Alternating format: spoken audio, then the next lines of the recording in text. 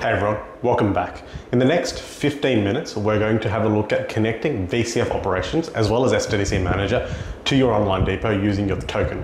There, uh, we're not covering the offline method in this video, but if you do want to see that, put it in the comments. After that, we're going to look at some logs to make sure that we are in fact connecting to the online depot and how to troubleshoot it if you're not able to get to it. After that, we're going to deploy VCF operations for logs using the downloaded binaries and then from start to finish, go through that deployment process. If you're following on from the last video, we've now upgraded operations to version 9. It's now VCF 9 compatible, and it's also, as part of that opera, uh, that task, deployed the Fleet Manager appliance, which is essentially copied all the data from the ARIA Lifecycle Management appliance into the Fleet Manager appliance, which will now take care of lifecycling. We did cover that in the last video, so if you want to see what that looks like, go back to that video and you can see that in the description. There's a link to the previous video as well. In this one, we're going to continue on with what we need to do. So that means we want to upgrade logs. So that gets added into ARIA Operations 9. Do Aon or ARIA Operations for Networks and anything else that I've missed in my thought process. But effectively, this is where we're at now. If you have a look at this document, again, will be in the description. As with any, any of the resources that I'm going to use, I'll put them into the description. So we've done the ARIA Suite Lifecycle 818. We've done, we've used that to upgrade operations and install the Fleet Manager appliance. Now we're going to use the Fleet Manager appliance to deploy uh, VCF automation or upgrade automation and operations for networks and also logs. Now, because I am on SDDC version 9, pre-token days, uh, and for obvious reasons I can't show you how to generate a token, but there are other blogs out there that show offline utility, which I can also cover if you want to see that. Put that in the comments. But I'm going to use the online one, online method using a token, which I will leave for you to figure out how to get the token. But effectively, to get SDDC Manager using a token, there are some steps that need to be taken because remember before we had username and password, now we're using a bearer token, which will then go and authenticate and give us the access that we need to be able to download the binaries. So again, this will be in the description for the link. The link will be in the description, but we need to follow some steps to, again, this is how you generate a token. we need to get SDDC Manager seeing the token method. So I won't open this link here. And I'm going to follow this. Uh, I won't go through step by step, but you'll see me do this as part of the video. So I'll get cracking on that now. Now, if you've had a look at the link, you know that you're going to have to make some changes to SDDC Manager as per its recommendation in the link, as well as any changes that you typically make to SDDC Manager or a database or config, take a snapshot beforehand so you can revert if anything does go wrong. So quickly, take a quick snapshot. Looks like I've got other snapshots here. I'm going to clean them up first. Cool, that's done. I will take a snapshot now. Give it a useful name just in case there are others. I don't need the virtual machine memory. I'll hit create on that. If you've had a look at the link, there are two methods. There's the scripted method and then there's the manual method. If you've seen any of my videos, I prefer the manual method so I can walk through the process, know exactly what's going on and also show you how to troubleshoot and diagnose if anything does go wrong. So I'm going to SSH onto SDDC Manager and we'll get through the configuration together as you would normally, you SSH into SDDC Manager as the VCF account, and then you SU to root to make any significant changes. Cool, we're there now. Now we'll continue on with the document or the KB article. Now we need to edit the application prod properties file. To do that, you can use Nano, you can use VIA, whichever you prefer, but effectively we just need to hit that, open it up, and look for the configuration changes or the section with the configuration that we need to change. I've now made the changes required. I've obviously grayed out what I couldn't show you. Now you want to write that file and then you want to restart the services. We'll give that a couple of minutes to come back. I'm going to jump onto SDDC Manager now. Let's have a look and see if it's up and running and it's working.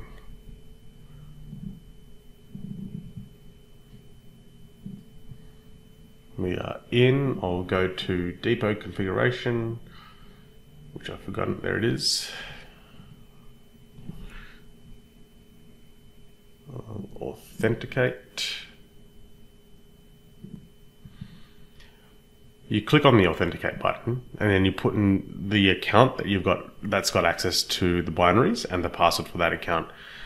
For security reasons, I've bypassed that part of this video just so you know I can I don't have to sit there blacking things out. It doesn't make it very useful for you anyway. And as you can see here, I've got the username blacked out as well. Now, if all worked, you should see depot connection active. So that means we should be able to now pull down the binaries that we require. But to do that, I'm actually going to jump back into Operations Manager and do it from there. I'm back in Operations Operations Manager, and yes, yes, ignore all the warnings. It's not the healthiest environment, but more realistic for you guys. Let's go to Fleet Management, and we'll go to Lifecycle. Wait, let this load. I need to download some components. Let's add a component. We'll go, uh, before we do that, I download the binary. Sorry, let's do that. Uh, apparently, according to this, depot connection is not configured. So what that's telling me is we've enabled SDDC Manager to have the depot connection, but this is relying on LCM or what was LCM, but now Fleet Manager to also have a depot connection. So let's go and sort that out now before we move on. Right, really quickly, let's click on configure.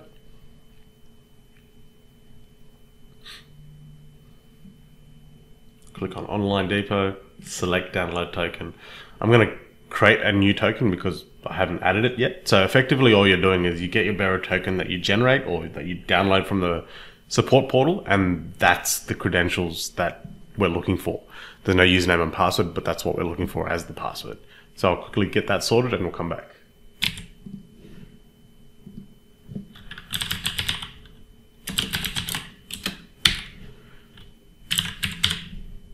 I accept.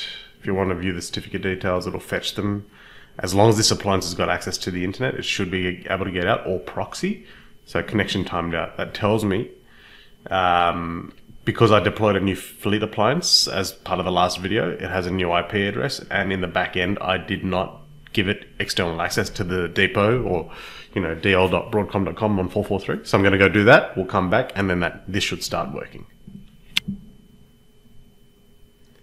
All right, I've made that change in the firewall.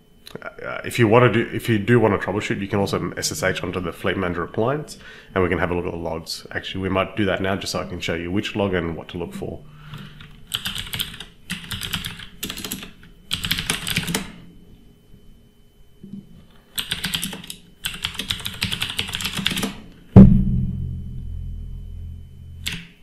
All right, let's jump into cd var log well, quick look in here. Has anything changed? Uh, we want to go to the VRLCM uh, folder. In here you should see a VRLCM uh, log. There we go. So that's the one that we want. So we'll tail that. And then what we do is we hit go on the depot connection and let's bring this back up.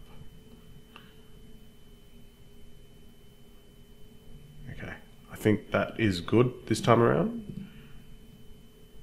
Now you can see that depot connection is active. Jump into binary management. Let's do some upgrade binaries. We'll get all of those. See what's on the patch binaries.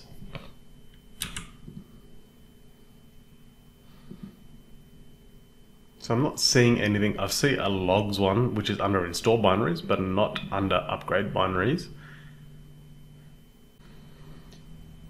Ignore what I previously just said. I did a bit of digging and it turns out you need to deploy a brand new instance of logs as there's no current upgrade path from 8.18 to 9. So I'll jump back into lifecycle. We'll go into binary management.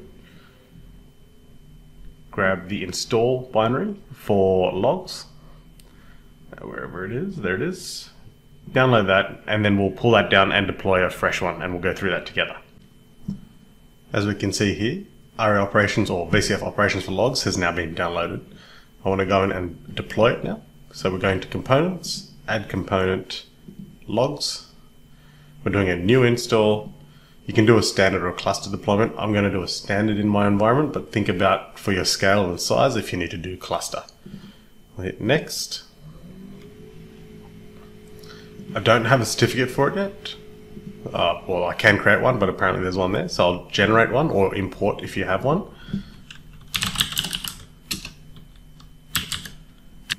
I've quickly punched in all the details there. Change your key length if you need to. I'm just leaving it at 2048. I'm not too concerned about this in my environment. Alias, common name, org details, and I'm putting this on an overlay network. So I'll hit generate. Hit save. So that's the one that I just created. And I did mention overlay network. Remember, this is an upgraded environment from VCF 5.2. So I already had AVNs in place. If you have a look at the description, there's a link to a video about AVNs and deploying stuff onto it. I'll hit next on that. I'll select the vCenter. I want it in the region that I've got. Select the cluster. I'll leave this all as default. And here we go. I'm putting it on the cross-region network from VCF 5.2 days. And the data store will be on the quick data store that I've got.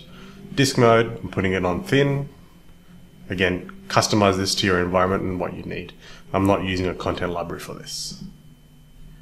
Domain name is shape.com. Domain search path is the same. Now the server selection, it should have already picked all this stuff up. Nope, there's no servers. I will add a new DNS server.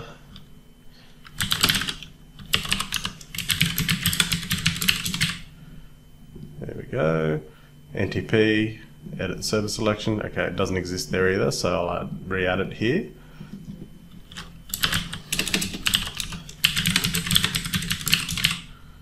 Submit. That's good to go. The default gateway for this subnet on the AVN network is .1 and it's a slash 24. Hit next. Alright, node size, I'll go with a medium for my environment. I don't need it to be FIPS compliant. If you need it to be, you can then turn this on if you need to. I don't need any anti-affinity rules because I'm only deploying one node. If you're deploying three, your anti-affinity or affinity rules is so you keep them separate. So if you have one host that goes down, you don't lose the, the, the cluster or majority of the cluster. Yes, we'll configure a cluster VIP. I don't need to do this because I'm deploying new use English. I'll leave this default. Admin, I'll just call it admin at Component password, I'm going to pick a password. And there we go, NTP server's already got that added. Time sync mode, use NTP. Up to you, but typically I would always go with NTP anyway. Cluster VIP. Let me quickly put all these details in and we'll go through it together. All right, let's quickly go through this. So we've already gone through all these details, medium VCF logs, that's all fine. Now for the cluster VIP, you do need to create a DNS record for this and I'm calling it vcflogs.shank.com. IP address on the AVN or overlay network is 10.100.041 and then you go to the node details. I'm calling the VM's name VCF logs. The FQDN is vcflogs.1.shank.com and the IP address is .42, which is the next sequential IP address up. I'll hit next on that. Oh, timed out. All right, and then we'll hit next on that. Run the pre-check. Let's see if there's any issues and we'll come back. Pre-check failed on certificate validation and that's because I didn't add the VIP and FQDN note into the certificate. So if we jump backwards and we go to the certificate page,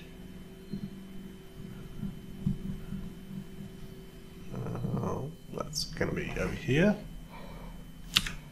my mistake was further back. So if we, I'm just going to create a new certificate and I'll clean this one up later.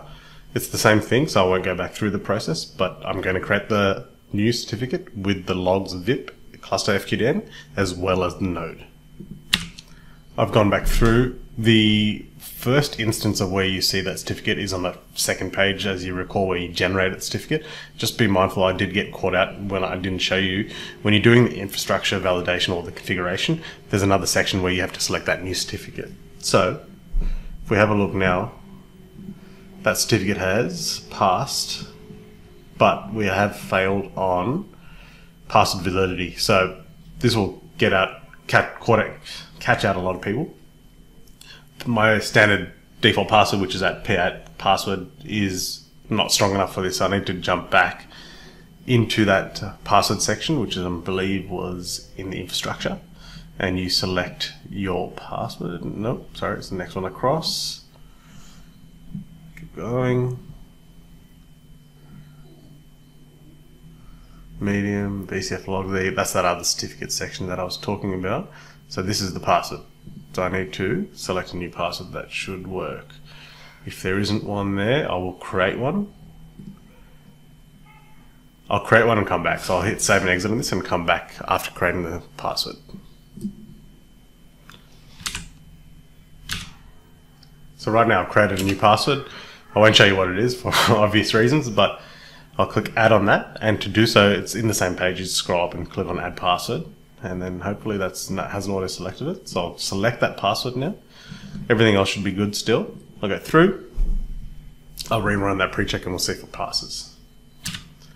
Good to go. So everything was good. Everything passed. I'm going to hit next and click on deploy. Do a review summary. I'll also export the config. So if I ever need to redeploy, it's there for me. And submit. Away we go. Let's let that build out and we'll have a look at it once it's done or if it errors out, we'll fix it together. There you have it. 27 minutes, 46 seconds to do a complete deployment start to finish of the new logging platform and also gets integrated into operations.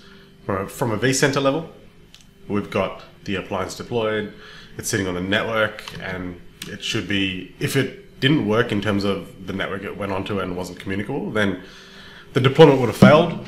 I can also do a quick ping check to make sure it does resolve it. Ping, log, um, there you go. So pinging is working. It's pinging the VIP. I can ping the node individually as well. Perfect. Now, we've done we've deployed the VCF logging appliance and it's integrated itself into VCF operations. In a future video, we're going to talk about what happens to all the logging data from a previous instance that you had because we didn't upgrade, we didn't lift and shift that data. How do we get it across? Not in this one. This one is purely deployment focused and we're looking at upgrading the suite to VCF 9, but we will look at it in a future video. Thanks for watching.